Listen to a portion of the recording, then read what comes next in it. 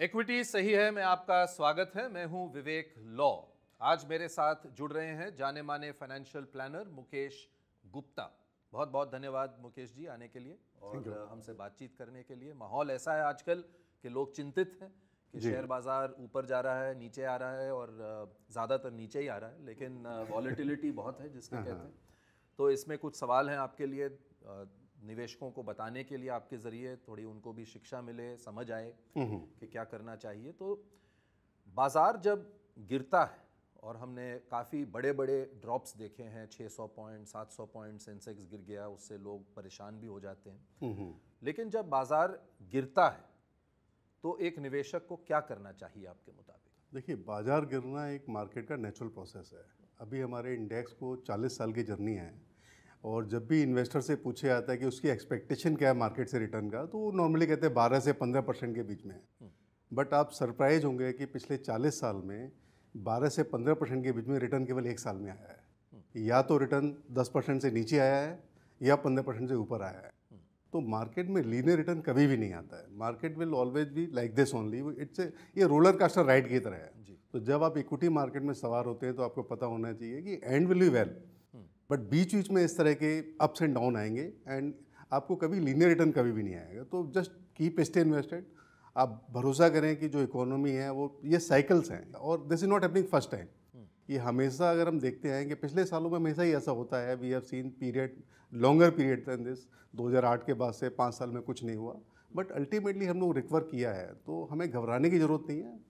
Believe in God and believe in market also तो क्या आप मानते हैं कि जब मार्केट गिर रही हो तो एक तरह का एक डिस्काउंट आ जाता है मार्केट में। जी।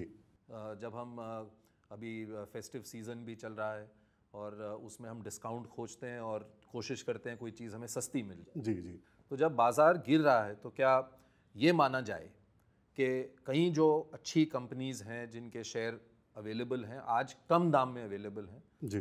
तो कुछ विशेषज्ञ कहते हैं कि आप अपनी अगर हो सके तो एसआईपी को बढ़ाइए। जब बाज़ार गिर रहा हो। हम्म, क्योंकि आपको अब सस्ते में वही चीज़ मिल रही है। जी। क्या आप भी सहमत हैं इस मैं पूरी तरह सहमत हूँ। मैं बेसिकली क्या कहता हूँ कि इन्वेस्टर को पहले अपना असेट एलोकेशन देखना चाहिए। अगर उन्होंने जो असेट एलोकेशन देख लिया है stick to that asset allocation अगर आपने 60 परसेंट और 40 परसेंट आपने बोला कि 60 परसेंट इक्विटी में रखना है 40 परसेंट डेट में रखना है। अगर मार्केट गिर रहा है तो और इक्विटी का वैल्यूशन कम हो के आपका बैलेंस मतलब फिफ्टी फिफ्टी आ जाता है तो it is a good idea कि आप डेट फंड से निकल के इक्विटी में थोड़ा एलोकेशन बढ़ा दें। ऑन द अदर हैंड जब मार्केट बढ़ रहा है, हमने कैलकुलेशन किया था बेसिकली फॉर एसआईपी इन्वेस्टर्स के लिए। तो उसमें हमने जो पाया कि अगर आपका एक लाख रुपए की ईएमआई है, और आपने अगर तीस हज़ार रुपये की एसआईपी की है, और एसआईपी की रिटर्न आप ट्रैक कर रहे हैं, और आपका पंद्रह परसेंट से ऊपर का जब भी रिटर्न आ रहा है तो आप एक साल का छोड़ के, चूँकि उसमें एग्जिट लोड और टैक्स का इम्प्लीकेशन है, बाकी पैसा उस टाइम रिडीम करके आप उसका लोन पे ऑफ़ कर दें तो एक्सरसाइज में आपका 20 साल का लोन है वो आपका 11 साल में कंप्लीट हो जाता है। तो एक्चुअली व्हाट इट इंडिकेट कि आप जब मार्केट हायर है तब आप ऑटोमेटिक उसको प्रॉफिट बुक कर रहे हैं और instead of putting money debt आपने लोन अपना पे कर दिया। तो इन ए सिमिलर वे या तो आपने लोन पे कर दिया या आपने डेट फंड में मूव कर दिया। जब भी रिटर्न आपका 14 परसेंट से ऊपर आए पिछले साल का इवेल्यूट कीजिए उसको रिडीम करके आप डेट मिले but subject to asset allocation अपना असेट एलोकेशन देखना बहुत ज़रूरी है। Asset allocation is responsible for the 90% of the return. To timing in the market is not important. Time in, in the market is more important. Mutual fund investments are subject to market risks. Read all scheme related documents carefully.